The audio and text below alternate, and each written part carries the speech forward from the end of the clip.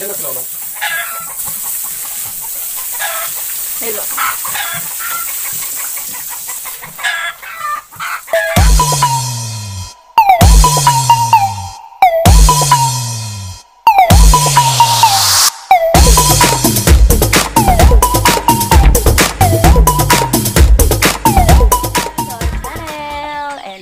Ang pag-uusapan po natin ngayon ay kung, kung paano pipili ng magiging inahing baboy.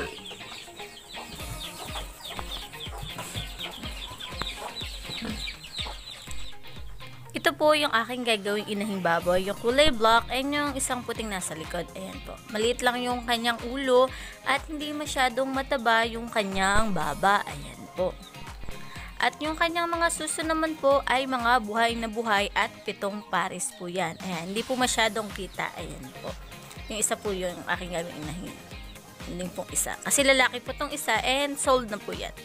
And kailangan din po natin ay makakapal ang kuko at malalapad. Para po kung sakaling magbubuntis na siya ay kayang-kaya niyang buhatin yung kanyang mga baby pig sa kanyang tiyan. Ayan po.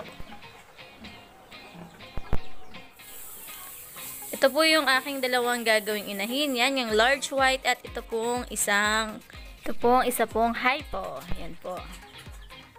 And ito rin po ay pitong pares din. Pitong pares din po yung kanyang mga suso. Ayan. Large white po siya. Ayan, hindi lang masyadong makita yung iba pero pitong pares po talaga yung kanyang mga suso. Tapos, ang kanyang pempem, dapat po ang kanyang patusok ay nasa baba. Katulad po niyang nasa aking gagawing inahing baboy. Yan po. Para malayo po sa infection at mas mabilis siyang makakuha kung sakaling i-enjikan o pakakastahan na po natin ang ating magiging inahin. Ito naman pong black ay nag ano na po yan, nag itong aking kulay black ay naglandi na. Yan, 6 months and a half pa lang siya. Yan, naglandi na siya. Pero pinalagpas muna namin kasi baka masyado pang maaga kung sakaling turukan o pakastahan na namin siya. Ayan. So, maaga lang talaga naglandi itong isa. And yung isa naman is same lang sila ng age. Ayan. Yan, ganyan po. Dapat ganyan po. Pababa po yung tusok ng ating pempem ng ating gagawing inahing baboy. Yan po.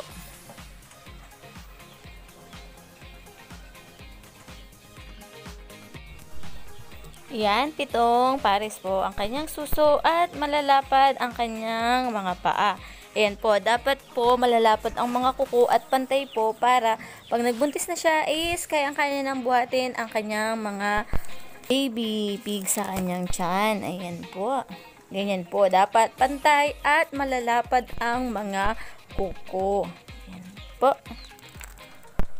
Ganyan din po. Katulad po ng isa rin nating gagawing inahin. Ganyan po. Malalapad at pantay ang kanilang mga kuko. Ayan. Kayang-kaya po nilang buhatin ang kanilang magiging biik sa kanilang tiyan. At ang kanilang tenga ay galit na galit o kitang-kita yung mga ugat dahil yan ang sinyalis na malakas at maraming supply ng gatas ang ating magiging inahing baboy.